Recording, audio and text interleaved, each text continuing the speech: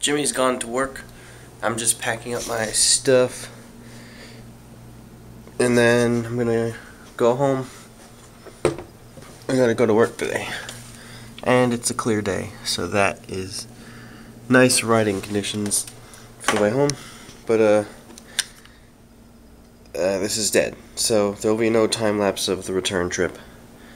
But, um, but I will find the last remaining of Jimmy's caches on the way home. There's just one, so I will get that one on the way home, and then I guess see you when I get home.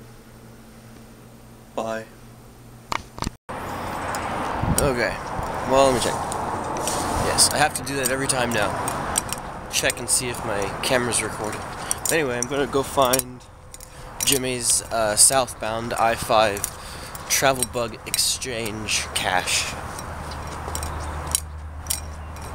Uh, it's southbound, so I live south of Jimmy.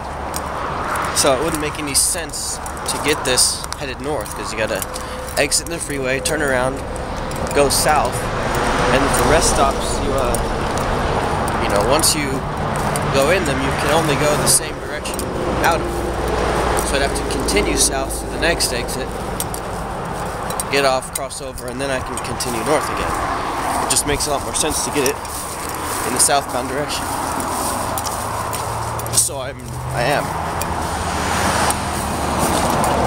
Problem is, I, I think I left my pen at Jimmy's house.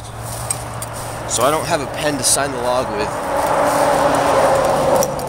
But, uh, there it is. Right there, in that bush. Very simple. But anyway, I might take a piece of grass and, like, set it down on the log and then scratch my name into it. That'll work. Aha, turns out there was a pen in the cache anyway. Pat Nans left it. Will it focus? Come on.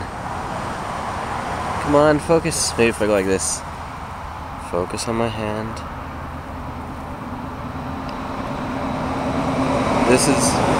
Oh, there it goes. It's focusing, yes. Pat Nans. So, whoever that is, I've never heard that name before, but thanks, and there's my name. Sweet. And I'm leaving, I'm leaving this in there.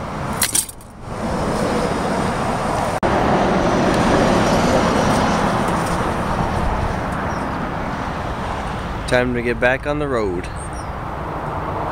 Back home again. Back to the wind. Uh, there's lots of bugs. Big one right there. Lots of bugs and dust and stuff, so time to clean.